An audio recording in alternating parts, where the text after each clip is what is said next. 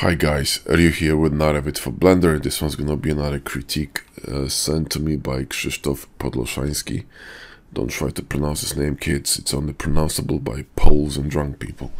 I actually requested it. I saw it on our group on Hard Surface, uh, Blender Hard Surface on Facebook. The group that we run together with Josh.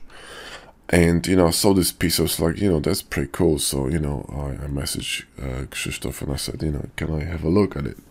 So he sent it to me. So, you know, cheers, mate. Appreciate it because it's a, you know, it's a cool piece and it's you know it's a difficult one to rip apart because it's uh, it's pretty you know it's pretty good so let's talk about it right quick one before we start guys these kind of critiques are normal on our patreon it's a tier 2 and 3 perk so if you're interested in supporting us and you would like to join our patreon link in the video description so check it out let's get on with it a few things that i want to mention okay now, when you look at this piece for a long time, you'll notice a few things, right? First of all, you know, being a photographer, um, I, I notice lighting, right? So for me, the focus, okay, light uh, of the light is in here, which is not ideal because this is the main subject, right? This is just a leading path to that doorway. So that's one, right? And we would need to redirect this light, you know, back onto the door, and that can be done in many ways. One of them is changing the angle of the uh, of the camera, but we're gonna talk about it later. Uh, then the uh, the image itself, I like the coloring. I like the composition. It's not not you know it's not it's actually pretty good, but um, I would leave probably a little bit less space in here. Maybe you know maybe just cut this off, right? So it's a bit closer to the edge. You got more space in here, and if you put some text, because it literally asks for some text in here, right? You'll have more space, and I will show it to you right now. So if I'm going to uh, grab my um, crop tool and, you know, move this image somewhere here, right? And then simply uh, grab a marquee tool and rebuild this bit here. So it's kind of tucked in. And also change the angle a bit now you see um, I'm gonna re-angle this later. It's gonna be a bit better. But uh, now you got a lot of space here you know for some text and still some breathing space between the text and the object. And it just looks much cleaner you see. So that's that's that's that's one thing. Second thing is the structural thing okay? Um, but before we're gonna go let's talk about details. So details are pretty cool, uh, but I think there may be too many mid-sized details on the floor. And instead of using mid-sized details, right, you could use uh, tertiary details, so, you know, really small ones. And this would um, fill in those, these gaps, you know, these gaps of nothingness and create like clusters of, of detailing in areas. Because if you look at it for a really long time, you'll see that this part is really busy. Yeah, it's just almost no space to rest, right? And I think it would be managed a bit better if there was less stuff in here. Um, you add some tiny details to make, you know, like areas a bit more busier, specific areas, right? And then leave much more, you know, free space and kind of like a um, resting area for the eyes. Yeah, like here, you know, this is a really good example, right? This is really well done and it's asymmetrical, which is something I really like too. Then the last thing is the design. So the design has one major flaw, and that's the door has nowhere to go. Because if you go to Blender, right, and you know we're gonna open this in a in a viewport, you will see that this door, you know, clearly is supposed to slide, right? Because you know it doesn't fold on its own, it cannot go up, it has to go to the side. But uh, you cannot go to either side because the wall ends. So you literally cannot open this door physically, right? There's no way for it to go anywhere. I know it's a concept, but uh, still, you know, uh, this wall should be um, this side, yeah, and this side should be done a bit differently, in my opinion. Um, but you know, that's that's about it. Other than that, I really like it. Yeah, um, it's it's pretty cool. So let's talk about angle, right? So if I go to um, to renders render settings right and we're going to enable um, the, the background right so let's go to film where is it Everything is open. I'm just gonna collapse it because it's confusing. I need her? Viewport, motion blur from there we go. Transparency good. Now where is the light coming from? See the light light coming comes from literally from the behind from behind of the model and that's why you got this reflection here okay this is the issue right you got reflection from there because that's what is you can't see the sun but you can see the brightest spot on the sky is here right? Meaning the sun sets somewhere there and the sun beams in here and bounces off and that's why this one is in darkness right? Now if I start rotating this right let's switch to Eevee because it's gonna be faster okay? If I start rotating this one right like this eventually the doorway is gonna be the main focal point right? So let's go to cycles.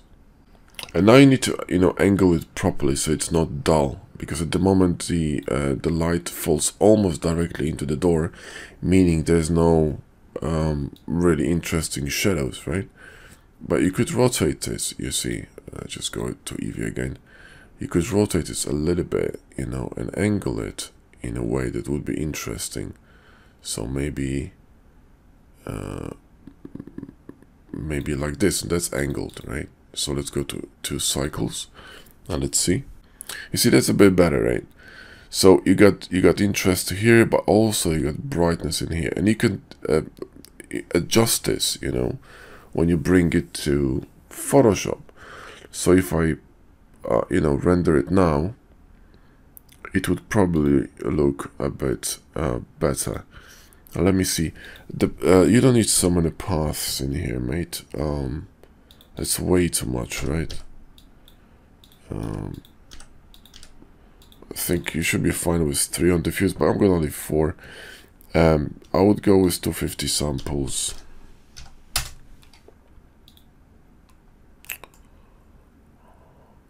Oh, you added some coloring here. That's pretty cool. Also, I'm going to change the resolution because uh, it's a little bit steep. 2056, uh, 1080, and this should be the same, um, the same ratio, but actually cut a little bit. But see the lighting now, right? The lighting is is you know very different. It's actually going onto the door, right? Instead of just on the floor, it actually goes on the door. Now, when you bring this to Photoshop, you can actually brighten this part, but we're going to talk about it in a sec. So let's grab the camera, right? And let me show you something. If I was, um, probably if I would be rendering this, I would just go for a different angle, okay? So lock to view, and now probably angle it a little bit like this, okay? It's to be a bit more difficult to deal with the background, okay? It will be, right? Because uh, you would need to, you know, extend it, right, like that. However, um, I think this will help you to shorten the floor visually because you know if you look from if you look from the top the floor appears bigger. If you look from from this angle the doorway appears bigger. And the doorway is actually the main subject. So you're shortening visually the floor but you're actually elongating the gate if that makes sense. And it fills the frame much better because it's not squared but it's actually now rectangular. You see what i mean? It's it's it's oblong instead of being squared. This is squared, yeah, and this is oblong, meaning it's much more relaxed in this sort of a vertical, um, vertical setting, right? And gives you a much more natural composition because you don't have to move it and sort of, um, you know, squ squash it um, against this edge here, and simply it extends more this way, right? See what I mean?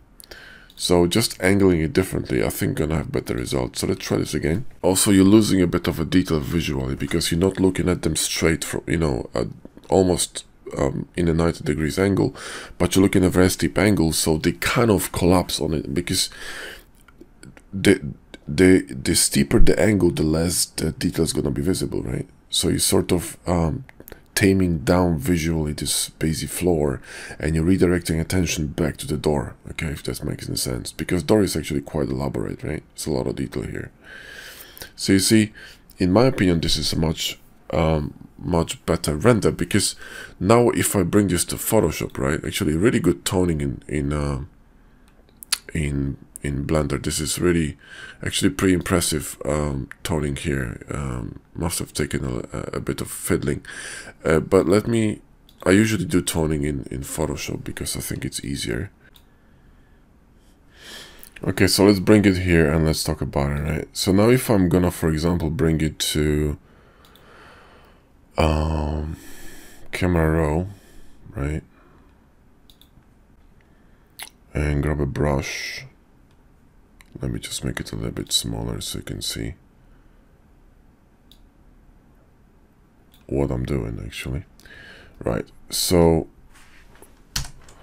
let me just grab a brush and you know add some clarity in here, right? See what I mean?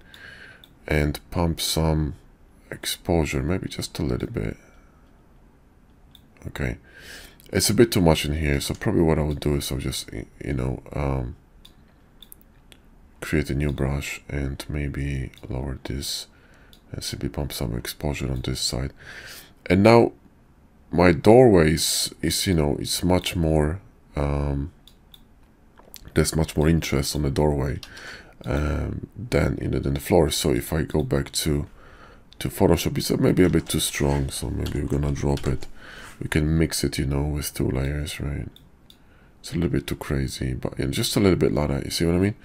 So now the attention definitely goes to the door immediately. In addition to all this, I think would be actually cool if we rotate this camera a bit, because if you look at this picture, right, it looks a bit as if this platform was kind of, um, you know, crooked, okay, kind of angling down this way, right? So what I would do is probably close this, go to Blender, and rotate my camera just a little bit. I mean, yeah, so this way. Let me see this. So the doorway is kind of more straight, yeah. I think it's gonna look a bit better, so. Yeah, that's good. You see, that's a little bit better. So if I'm going to, uh, I cannot save it yet, but uh, just a few seconds. I'm thinking that maybe the stairs is a little bit too close to the edge now. In the bottom. It's a bit too tight. So... Probably gonna move it a little bit further. Just a little bit, yeah. Something like this. Maybe a bit to the top, like that. To give it a bit more space. You always wanted to give some footing to people or objects that you know ground you see now it looks a bit better right? A bit like less claustrophobic so kind of grounded uh, properly. And now this is you know this is a I think it's a good this is a perfect framing in my opinion right? There's enough space here and here. You got tons of space in here for some text. Um, this is really nice kind of framing here. That looks balanced to me at the moment. And the lighting is good you see it's very flat. You got some highlights still on this floor here and uh, this door is way more visible. So if I'm going to save this now as uh, another TIFF and we're gonna go to um, our Photoshop and bring this the third TIFF in I think it's gonna be a bit better. See see what I mean? It's kind of collapsing down and this is much better. So again um, I'm not gonna be really editing this but like I said um, not lens correction. Um, the this doorway should be a bit brighter right? So just grab a brush and you know just add a little bit of contrast and some clarity you know a little bit clarity. You need to increase shadows when you add clarity otherwise you're gonna end up with with really a lot of contrast right? You can spill a bit of clarity on the floor not too much just a little bit and uh, you know bring it in. And there you go see? This tiny bit of a uh, highlight here it just makes a whole difference and brings all the attention here because clarity adds contrast with uh, sharpness basically is contrast is the border between the, the sharper the border becomes between white and black or dark and bright the sharper and the more contrast the image looks yeah? So that's what it is. That's what clarity does right? Um, so you see, if you compare this with this, right? Now you see what I mean, right? Okay. This is presenting the floor, whereas this is presenting the whole piece, right? And it's just uniform and balanced. And then you can just put some text in here and leave a bit of space here. So you got this breathing space, you know, around which you can, your eyes can just move. And you got this text and everything look, looks relaxed. So anyway, that's, that's, you know, that's what I would do. But, you know, it's a great job, man. Really clean modeling. Really nice. Attention to details. The lighting, I, I really like the lighting. The, you know, this lighting effects really cool. And I know that you um, based this on a tutorial from Josh, the one that he posted on the um, uh, on the Sci-Fi Gate. So you see, Krzysztof did is like he, he watched this one right, and he decided to take his own, you know, this this what he have learned and just make it his own. And this is exactly how it should be done. You know, it's completely different, right? But the idea is similar, right? It's a floor with a bit of with a bit of you know um, stairs or like a ramp and then um, you know just a doorway right so um, this is really cool um, and very recommended way of studying where you take something that you know uh, it's on internet a reference right and you completely change it but at the same time you go with a similar theme so this is how I always say that this is how it should be done. That you you look at references and then you close them down and you think how you want to make this idea that you just seen with everything that you've learned your own. And this is a perfect example, right? So anyway, thanks so much for sending it, mate. Really good job. Keep up, keep it up. And um, well, that's it, guys. Hope you enjoyed the vid. Uh, thank you for sending the work, Krzysztof. I appreciate it, mate. Um, leave us a like and sub if you if you did enjoy the video guys and as usual link to all the add-ons that i'm using and endorsing in the video description so if you want to get HardOps box cutter decal machine whatever everything is in the video description so go there and have a look. Thank you for watching. Catch you next video